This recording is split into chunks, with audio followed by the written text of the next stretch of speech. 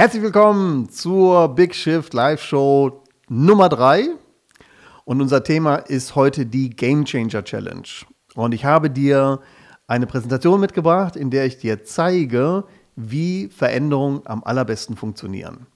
Ich gebe dir nicht nur praktische Tipps für die Game Changer Challenge, an der du, wenn du möchtest, gerne gratis teilnehmen kannst, sondern ich zeige dir auch, welche Voraussetzungen notwendig sind, damit du, egal was immer du auch möchtest, in deinem Leben wirklich verändern kannst. Der allererste Schritt, den du gehen musst, ist, dass du ein gutes Problem suchst. Ein gutes Problem heißt für mich ein Problem, das dich herausfordert und das du gerne in deinem Leben ändern möchtest. Und obwohl ich dir einen Prozess mitgebracht habe, der aus meiner Sicht verblüffend einfach und extrem wirksam funktioniert, empfehle ich dir, dass du dir für den ersten Durchgang bei der Game Changer Challenge ein leichtes Problem aussuchst. Also ein Problem, das du einigermaßen gut handeln kannst und auf gar keinen Fall ein Problem, das dich emotional einfach zu stark, zu krass fordert. Dieser Prozess ist nicht für Depressionen geeignet, auch nicht für Traumata oder für andere schwere seelische Verletzungen. Aber du kannst diesen Prozess, diesen Game Changer Prozess, den ich dir hier mitgebracht habe, nutzen für alle typischen Alltagsprobleme. Zum Beispiel Sorgen und Zweifel, die du hast. Oder innere Konflikte, ja, dass du merkst, dass du einfach mit dir uneins bist, dass du vielleicht eine Meckerstimme in dir drin hast. Oder wenn du Druck, Hetze oder Stressgefühle hast. Oder wenn du konkrete Probleme am Arbeitsplatz hast. Oder wenn du Beziehungsstress hast. Und das ist übrigens das Thema gewesen, das die Teilnehmerin Rebella gewählt hatte. Rebella ist Mutter, hat eine Tochter und die beiden verstehen sich normalerweise ganz gut, aber ab und an kriegen die sich mal in die Haare. Und es fängt meistens damit an, dass die Tochter wegen irgendwelcher Sachen bei der Arbeit zu motzen, dann will Rebella immer beschwichtigen und dann schaukeln die sich die beiden hoch und dann gibt es halt einen Streit. Und zu dem Zeitpunkt des Coachings war es so gewesen, dass die sich so richtig heftig gestritten hatten und seit fünf Wochen nicht mehr miteinander gesprochen hatten. Und das Problem war, mal abgesehen davon, dass es natürlich für eine Mutter furchtbar ist, wenn man die eigene Tochter fünf Wochen lang nicht spricht. Das Problem war noch obendrein, dass sie jetzt ein paar Stunden nach unserem Coaching-Termin eine Familienfeier hatte, wo sie ihre Tochter äh, wieder treffen sollte. Und sie wusste überhaupt nicht, wie sie mit der Situation umgehen sollte. Und das war der Ausgangspunkt für das Coaching. Und das ist ein gutes Problem. Warum? Weil es sich hier um eine konkrete Situation handelt. Sehr häufig ist das so, dass wenn ich mit Leuten äh, Coachings beginne, dass die Leute viel zu abstrakt daran gehen. Dass, wenn ich zum Beispiel frage, sag mal, was willst du denn gern verändern? Was ist denn dein Begehr, dass sie sagen, ja, ich will irgendwie glücklicher werden oder ich will erfüllter sein oder ich möchte mehr Geld verdienen oder äh, ich bin irgendwie nicht so gut drauf, das will ich irgendwie ändern. Und damit kann man keinen guten Veränderungsprozess initiieren, sondern was du brauchst, ist eine konkrete Situation. Das heißt, wenn du zum Beispiel sagst, ich bin nicht gut drauf, dann überleg dir eine Situation, wo das immer wieder auftritt. Also vielleicht ist das zum Beispiel morgens, wenn du aufwachst, machst die Augen auf und hast schon gleich eine Scheißlaune. Das könnte zum Beispiel eine konkrete Situation sein. Oder du hast irgendwie Stress bei der Arbeit, bist irgendwie demotiviert. Dann such dir eine konkrete Situation heraus, wo diese Demotivation auftaucht. Beispielsweise, wenn dein Chef oder deine Chefin ins Büro kommt, dann merkst du schon, ja, deine Laune geht gleich sofort in den Keller. Je konkreter du die Situation auswählst, desto wirksamer ist der Prozess. Denn das ist wichtig für Schritt Nummer zwei, Rollenspiele. Wann immer wir in einer schwierigen, herausfordernden Situation sind, kannst du sicher sein, dass wir höchstwahrscheinlich negative Verhaltensmuster in die Situation reinbringen. Und zwar nicht nur du, sondern auch alle anderen Beteiligten. Und es gibt insgesamt drei Muster, die uns ganz besonders interessieren und die ich jetzt hier nur in der Kürze vorstelle und die wir dann in der Game Changer Challenge weiter vertiefen. Das ist zum ersten dass wir manchmal dazu neigen, bei Schwierigkeiten und Herausforderungen die Flucht anzutreten, dass wir uns gar nicht erst streiten wollen, dass wir einfach abhauen, Türen knallen vielleicht. Oder dass wir uns manchmal auch anpassen, dass wir uns klein machen, dass wir Ja sagen, wo wir eigentlich Nein meinen. Oder umgekehrt, dass wir in die Angreiferposition gehen. Und wenn wir zum Beispiel in einer Streitsituation Leuten Vorwürfe machen und sagen, du hast das doch gemacht, du weißt doch ganz genau und so weiter und so fort, dann sind wir in der Angreiferposition. Und höchstwahrscheinlich ist es so, dass wenn du die Situation analysierst, dass du dann feststellen wirst, dass du mindestens eines dieser Muster belegst, möglicherweise sogar zwei oder alle drei, und dass dein Gegenüber höchstwahrscheinlich auch in einem dieser Muster drin ist. Aber, und das ist das Entscheidende für alle Veränderungsprozesse, geh nicht darauf, dass du versuchst, die anderen Leute zu verändern, sondern konzentriere dich auf das, was du verändern kannst. Wenn du dein Spiel veränderst, wenn du Verantwortung für die Situation übernimmst. Das heißt, dass du auf dieses ganze Gemengelage, was sich da vielleicht runterzieht, anders antwortest als bisher. Mit einer anderen Einstellung, mit anderen Gedanken, mit anderen Gefühlen, mit anderen Verhaltensweisen, dann ist die Wahrscheinlichkeit extrem hoch, dass sich die Situation selbst auch verändert, dass die Leute anders auf dich reagieren.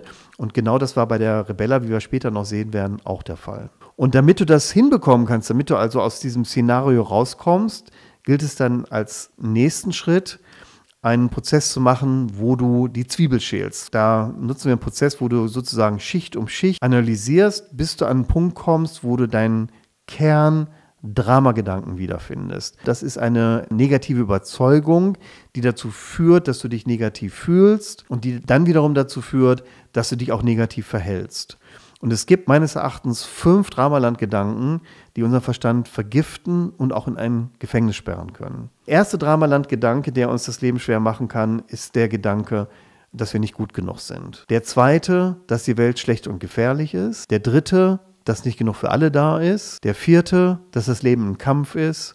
Und der fünfte, dass das Leben sinnlos ist. Was es genau mit diesen Gedanken auf sich hat, wie die wirken können und so weiter und so fort, das schauen wir uns in der Game Changer Challenge an. Und entscheidend ist, dass du mit diesem super simplen Prozess des Zwiebelschälens ruckzuck rauskriegst, was ist es denn, was mich da in eine negative Haltung reintreibt und mich deswegen dazu motiviert, negativ motiviert, äh, die Situation schwieriger zu gestalten, als es eigentlich notwendig wäre.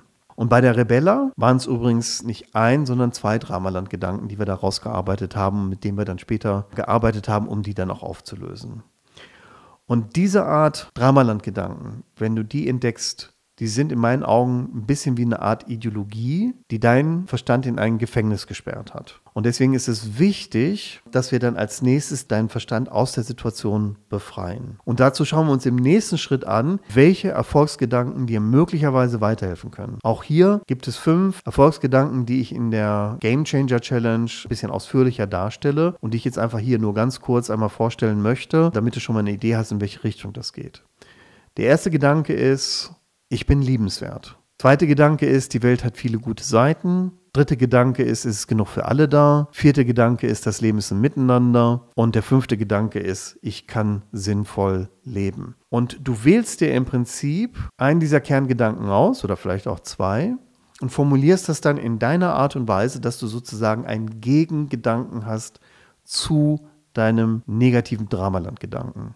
Und damit bist du bestens vorbereitet, für den nächsten Schritt, nämlich Schritt Nummer 5, für den Game Changer Prozess. Und dieser Prozess ist so unglaublich einfach, der ist so kinderleicht, dass du verblüfft sein wirst, wie schnell und wie einfach der funktioniert und welche rapide Wirkung der auch auslösen kann. Aber, und das ist das Entscheidende, Veränderungen laufen nicht immer geradeaus. Viele Leute glauben nämlich, dass ein Veränderungsprozess so ist, dass man ein Problem hat und dann setzt man sich ein Ziel und dann arbeitet man drauf zu und dann ist der Drops gelutscht und alles ist perfekt. Tatsächlich ist es aber so, dass Veränderungsprozesse oft durch viele Schleifen gehen. Ja, dass wir einen negativen Gedanken auflösen und zack, kommt gleich der nächste negative Gedanke hoch, der vielleicht ein bisschen anders ist oder vielleicht auch aus einer ganz anderen Ecke kommt. Und auch den müssen wir erst auflösen, um dann einen Schritt weiter zu kommen. Und dann kann es sein, dass vielleicht nochmal weitere Gedanken hinterherkommen. Erst wenn du die aufgelöst hast, dann setzt plötzlich der große Durchbruch ein. Und bei der Rebella war es so, dass wir nicht nur einen Durchgang mit der Coaching-Technik gemacht haben, sondern mehrere. Und das ist besonders wichtig, dass du das im Hinterkopf behältst, dass Veränderungsprozesse immer ein evolutionärer Wachstumsprozess sind. Das muss also nicht traurig sein, äh, wenn du zum Beispiel merkst, du hast jetzt gerade einen negativen Gedanken aufgelöst und freust dich vielleicht auch darüber und wunderst dich, dass dann ein paar Minuten später nächster negativer Gedanke hochpoppt. Das ist nämlich ein gutes Zeichen. Das zeigt nämlich, dass dein Inneres sagt, hey, diese Technik ist echt cool. Ich habe ja noch ein paar mehr negative Gedanken. Lass uns mal gleich weitermachen. Wenn du das so einsetzt, dann merkst du nach einer gewissen Zeit, dass eine Leichtigkeit einsetzt und irgendwann fällt das einfach von dir ab und das Ding ist vorbei. Es gibt übrigens noch einen weiteren Schritt, der quasi dafür sorgt, dass dein gesamter Veränderungsprozess auch einen großen, sehr radikalen Wandel, ich nenne das immer den Big Shift in deinem Leben erreichen kann. Und über diesen sechsten Schritt, die Tür, möchte ich dir jetzt noch nicht zu viel verraten, aber versprochen, wir gehen im Laufe der Game Changer Challenge noch ausführlicher drauf ein. Zum Abschluss noch was Besonderes für dich. Ein Interview mit Rebella. Mit Rebella habe ich diesen Prozess durchgeführt und wir haben das Ganze aufgenommen und du bekommst im Rahmen der Game Changer Challenge diesen Prozess auch Stück für Stück zu sehen. Und damit du siehst, welche Wirkung dieser Prozess hat, möchte ich dir zunächst einmal eine Aufnahme einspielen, was Rebella als ihr Problem mit ihrer Tochter geschildert hat. Meine Tochter ist 23, sie wohnt ja nicht mehr bei uns, sie kommt dann zu Besuch und ähm, am Anfang ist auch alles ganz schön und gut und dann fängt sie an zu jammern. Also ne, das ist nicht gut und die Leute sind blöd und das läuft nicht. Ich versuche dann immer wieder, ähm, das sie so positiv zu verstärken und, und ihr Mut zuzusprechen und eigentlich ähm, bin ich dann irgendwann das ist dann aber auch schon nicht mehr authentisch, weil ich dann zwischendurch eigentlich schon mal immer denke, am liebsten würde ich immer auch sagen, ne, mach das jetzt mal so und hör auf zu jammern.